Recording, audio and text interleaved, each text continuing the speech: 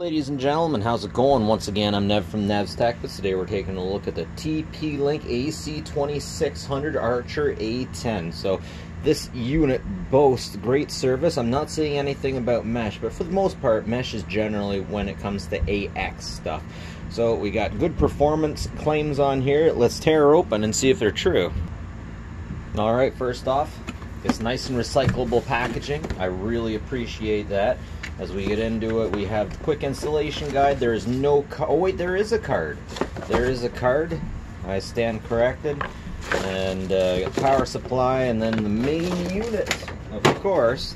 Let's take a look at it. It looks as if it is shipped with its antennas on it.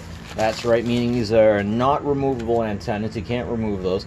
I'm always a little bit afraid of taking this stuff off because as soon as I, oh, it feels so nice. As soon as I do that, once I get a fingerprint on there, man, that stuff's never going to come off. And uh, it can always be a little bit interesting to try and get this stuff off of here. I think I'm actually just going to leave it on there. Oh, wait, there we go. Nice and easy. Clean and easy and under control, right? Anyways, very nice, very nice. It's not trying to be futuristic looking, not trying to be different, but at the same time manages to be different than anything that I've seen recently. Power, power. We got um, LAN-ish places, and that's where you plug in your modem. Okay, so let's get this thing turned on and see how she does. Alright, so this unit is already setting itself up. Let's take a look at exactly where it puts itself within the Wi-Fi stream.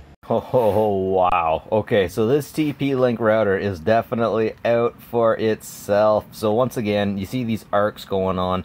This is the Wi-Fi spectrum, and these are the channels. This TP-Link unit has put itself between 1 and 9, which is, is different. It's different. I don't know why it chose to put itself there. Maybe I'll check again once everything's all set up and done. But this is the place it decided to put itself. Uh, once again, you don't want to get into other arcs. You want to be with another arc. If anything, let's check out the 5 gigahertz. And uh, yeah, it looks like in the 5 gigahertz, we are okay. We're sharing a channel. We are within an arc form. So we're good with that. We're good with that. So this is the speed test that I get. Once again, my network is being way overdone by my local Wi-Fi. The local Wi-Fi can push so much harder, so much better than my internet provider can provide me with the internet. So if I bust this down, right now I'm in 5G, but if I move down to 2G, this will become 80 megabits per second. Still, that's it's good for it's good for some stuff. Of course, you got a lot of things within your home like wireless security cameras and probably even your Roku that will only operate on the, the 2G. Next up, let's test out local transfer speed over Wi-Fi. We take the test video file. This is from a server that's just to my left. I can it's so so close I can touch it, and the, the server on my uh, the workhorse on my right is once again close enough I can touch it. About 15 meters away, I have this router. It's all line of sight. It all has line of sight to each other. Let's see how quickly I can download this directly to the C drive. Yes. And this is freaking awesome. I'm almost getting... I'm going to wait a sec. I wonder if I can get back up to 30 megabytes. If I can get to 30 megabytes, yeah, I did it. That This is the same speed that I can get with any of my AX routers. AX routers, I can only get them to go up to that speed exactly. I don't know, there's something about that being a glass ceiling, but I, uh, mm, I think it should be a lot faster than that because of what AX claims that it can send out. This isn't even, like, I am happy with this when it comes to an AC unit or a Wi-Fi 5. So this is a Wi-Fi 5 unit. But if I get a Wi-Fi 6 unit and I have a Wi-Fi 6 or Wi-Fi AX card in my computer and everything's AX, then I should be able to transfer significantly faster than that. So ultimately what I'm saying is I like this. This is uh, this isn't bad. This isn't bad at all at these speeds, streaming is super easy. So yeah, I can just watch my movies directly off my server with this router. As far as the video game test goes, I have no problems with it. I haven't had any lags, haven't had any issues, but let's get into the networking section and we can look and see what the Xbox thinks of this new router. Alright, so before we've done any port forwarding, we can see that we have a strict double NAT type.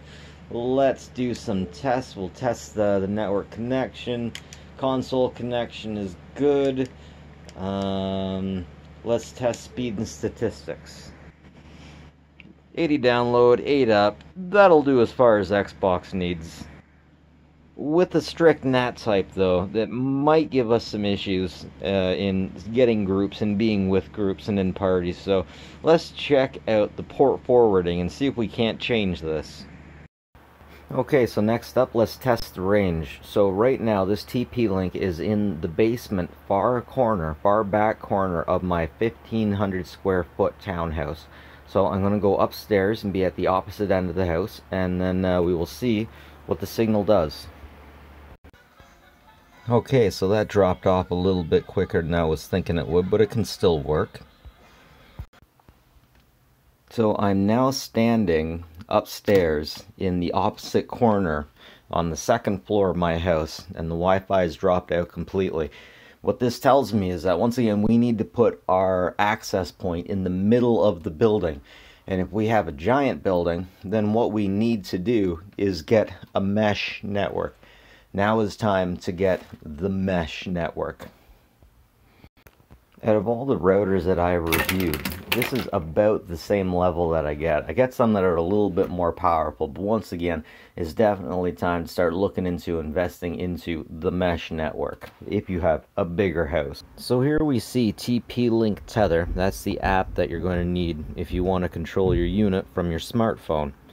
So here it is. It takes a minute to, uh, got to make sure that your cell phone is on the same network as this, and it'll automatically detect it. It'll load into it, and then you have to use the password that you gave it before. And then after that, you'll be able to log into it. And you can do all kinds of fun things from here. So over here, you can see that we have three clients on board. There's my uh, powerful Lenovo system. There's my Alexandrian backup. Bind TP-Link ID. So from here, you can set up your guest network. You can check out your clients. You can check out your tools. Uh, for the most part, most of the things that you can do on your router's gateway will also do things here like quality of services, um, LED control. You can just turn the LED of the front of your unit on and off. Some people really like that. Um, network diagnostics. Great, your network is online. I would hope so. Yeah, yeah. So definitely good stuff. You can do a lot more with these apps than you used to be able to. Um, parental controls, being able to control parental controls from here is definitely an advantageous thing.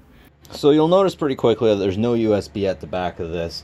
And if you're going to hook this thing into the internet, make sure that you turn off your main router before you plug it into the internet and then turn it on and then go to your main modem. Sorry, this is the router. The modem's upstairs. Unplug your modem and then plug this in, turn it on, then go plug your modem back in. Okay, now this part is for setup purposes. I have the unit plugged in. Immediately it's going to tell me that there was an IP conflict, which means my modem had the same IP number as this router. So the router is going to change its own IP number. Now here we put in our passwords. Of course, it's always good for the routers to make you suggest your own password so that there isn't a default password. The bad part about default passwords is when hackers break into your stuff, they can automatically get further into everything if nobody changes their passwords. And let's face it, we all have enough passwords to remember, right? So we put in our time zone. Now here we'll auto detect what kind of network connection we have. So I'm just going to hit next. And I'll say even though we're setting this up just like this, uh, my internet has already kicked in as my YouTube videos have started to play. I have never actually had to use this, so let's just hit next. Now here we have the names and the passwords. The passwords are on the card, so let's just roll with standard. Let's keep standard going. We will save our settings. Oh yeah, we also have an app. They generally prefer if you set these up with the apps. Alright, lastly, let's take a look at the user interface. Now, in order to get here, we just have to type in tplinkwifi.net, and as long as we're connected, it'll take us here. Shows us how many we have connected, wired, wireless, and on what band.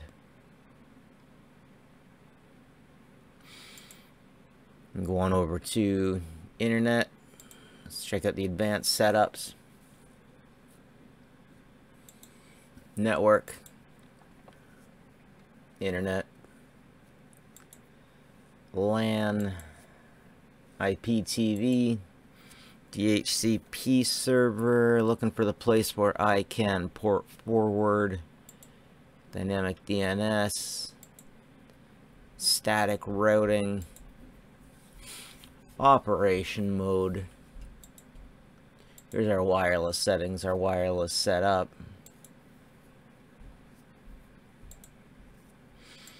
Activate guest network.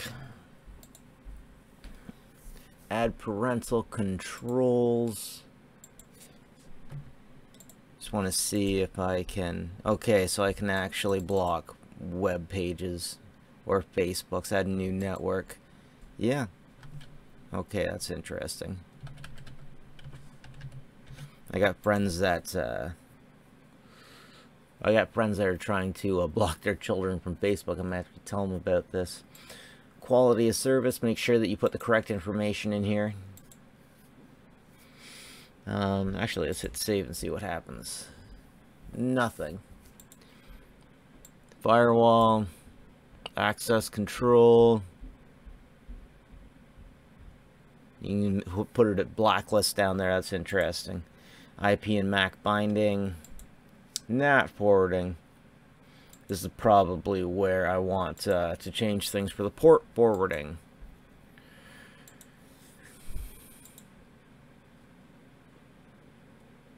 IPv6. I'm going to start messing with that soon. And here's your VPN, your OpenVPN, your PPTP, your VPN connection, Smart Life Assistant, yes, this can connect to Alexa. And then just uh, various system tools.